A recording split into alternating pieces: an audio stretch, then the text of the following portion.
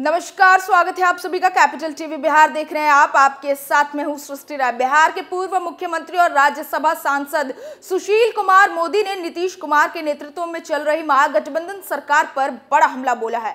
बिहार के वर्तमान राजनीतिक हालात और छपरा में हुए मॉब लॉन्चिंग के बाद जातीय हिंसा और महागठबंधन सरकार पर तुष्टिकरण की राजनीति करने का आरोप लगाते हुए बीजेपी ने अडानी मुद्दे पर भी महागठबंधन सरकार पर हमला बोला है। क्या है पूरा मामला? देखिए इस रिपोर्ट में।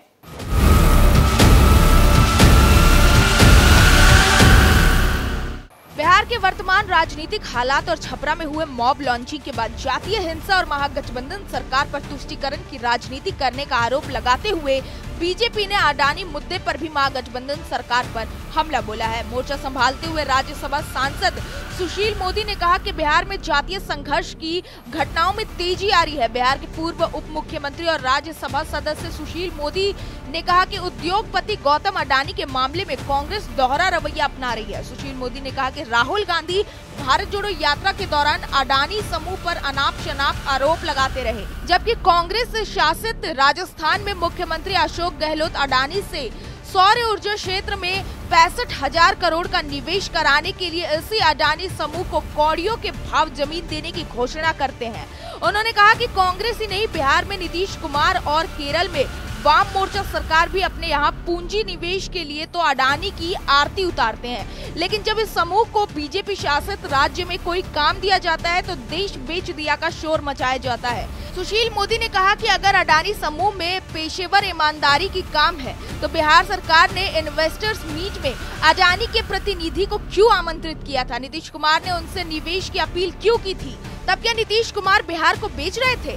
उन्होंने कहा कि जब अडानी की शेयर संबंधी मामलों की निगरानी और भारतीय रिज़र्व बैंक कर रहा था तब विपक्षी को छाती पीटने की ज़रूरत नहीं है। देश की अर्थव्यवस्था ईमानदार और मज़बूत हाथों में है। सुशील मोदी ने बिहार में जातीय और सांप्रदायिक तनाव की बढ़ती घटनाओं पर चिंता ज़ाहिर करते हुए महागठबंधन सरकार पर आरोप लगाया। उन्होंने कहा कि छपरा में आरजेडी समर्थकों द्वारा एक युवक की निर्मम पिटाई कर हत्या के बाद आज तक मुख्य अभियुक्त की गिरफ्तारी नहीं हुई है, जबकि इस घटना के बाद से ही पूरे इलाके में भारी तनाव बना हुआ है। सुशील मोदी ने नीतीश सरकार पर गंभीर आरोप लगाया है कि हत्या के बाद आक्रोश में क्रोधक भीड़ द्वारा की गई घटनाओं की आड़ में निरपराध लोगों को परेशानी हो रही है। अपराधियों को पकड़ने के बजाय आम नागरिकों को ही गिरफ़्तार किया जा रहा है। राज्यसभा सांसद सुशील मोदी ने गोपालगंज की घटना का भी ज़िक्र करते हुए बिहार सरकार पर तुष्टिकरण की राजनीति करने का बड़ा आरोप लगाया है।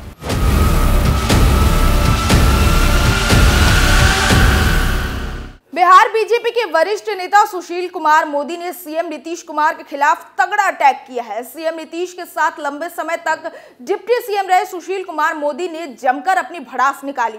सुशील मोदी ने बिहार में जातीय और सांप्रदायिक तनाव की बढ़ती घटनाओं पर चिंता ज़ाहिर करते हुए महागठबंधन सरकार पर आरोप लगाया है। उन्होंने कहा कि छपरा में आरजेडी समर्थकों द्वारा एक युवक की निर्मम पिटाई कर हत्या के बाद आज तक मुख्य अभियुक्त की गिरफ्तारी नहीं हुई है, जबकि इस घटना के बाद से ही पूरे इलाके में भारी तनाव है। सुशील मोदी ने नीतीश सरकार पर जारी आरोप लगाया कि हत्या के बाद आक्रोश में भीड़ द्वारा की गई घटनाओं की आड़ में निरपराध लोगों को परेशान कर रही है। अपराधियों को पकड़ने के बजाय आम नागरिकों को ही गिरफ़्तार किया जा रहा है। सुशील मोदी ने गोपालगंज की घटना का भी ज़िक्र करते हुए बिहार सरकार पर तुष्टिकरण की राजनीति करने का बड़ा आरोप लगाया। है। अभी तक के लिए बस इतना ही। बाकी की तमाम खबरों के लिए बने रहिए कैपिटल टीवी बिहार के साथ। नमस्कार।